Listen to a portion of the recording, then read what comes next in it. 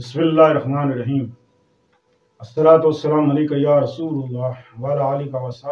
Habibullah. YouTube channel से कारी मोहम्मद रियाज कुरैशी का सलाम। पाकिस्तान में और पाकिस्तान से बाहर रहने वालों के लिए दुआ गो हैं कि अल्लाह पाक आपकी रूहानी, जिस्मानी, अंदरूनी, बैरूनी बीमारियाँ दूर फरमाए। आमीन।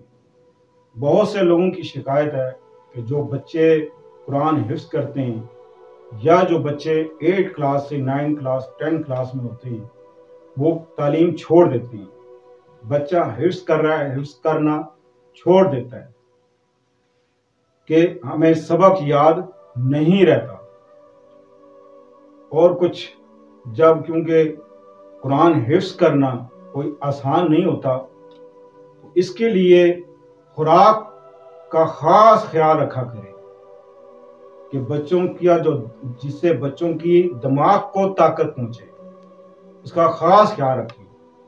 और जिन बच्चों मिसाल के तौर पे जिन बच्चों के जहन कमज़ोर होते हैं, वो बाज़ दफ़ा डर जाते हैं। वो डर से ये होता है कि शयातीन का हमला होता है। जब शयातीन का हमला होता है तो उसका पहला, सबसे पहला हरबा ये होता है कि इसको नहीं पढ़ने देना। जिसकी वजह से माँ बाप जो है वो बहुत परेशान होते हैं कि बच्चा क्यों नहीं पढ़ता? मार पीट भी उसको होती है घर से भी मार पड़ती है और मदरसे में मार पड़ती है। लेकिन बावजूद इसके कि वो पढ़ने का नाम नहीं लेता कि, कि मैंने पढ़ना ही नहीं। बेसिक वजह इसकी ये होती है कि जहनी कमज़ोरी जिसकी वजह से ये मसले मसाइल बनते हैं।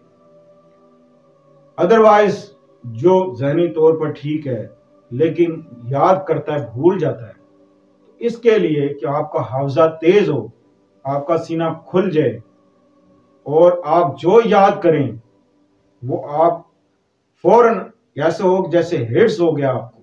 आज याद किया, आप कल जाके सुनाए तो आप भूलेंगे नहीं। इसके लिए खास वजीफा, और एक सूरत है सूर्य मुदस्सर। यह आपने अगर रोज पढ़ें तो बहुत ही अच्छी बात है कि रोज़ाना एक बार सूर्य मुदसर पढ़ के पानी पे दम करें और उसको पिए तो इनशाला इससे आपका सीना खुलेगा, दिमाग खुलेगा। याद रखें कि अल्लाह पाक ने खुद फरमाया कि है कोई कुरान पढ़ने वाला जिसे मैं पढ़ा दूँ तो हमें चाहिए कि हम इस आयत मुबारक को देखते हुए, ये सोचते हुए कि हमें अल्लाह खुद कह रहा है। अल्लाह खुद कह रहा है कि है कोई याद करने वाला जिससे मैं याद करा दूँ तो अल्लाह से दुआ करो कि अल्लाह हमें कुरान पढ़ने की तोफीक दे और हमें हिफ्स करा। जो बच्चे स्कूल से भागते हैं, वो ये अमल करें इन उनका पढ़ने में दिल लगेगा। और जैसे आप चाहेंगे इतने नंबर आने चाहिए, उतने ही नंबर आएँगे इन अज़ीज़, आजमाइश शर्त है, आप रोज़ाना ये करें। आप खुद नहीं पढ़ सकते। आपकी वालदा, आपके वालिद, आपके घर में कोई आपको पढ़ के दे दे।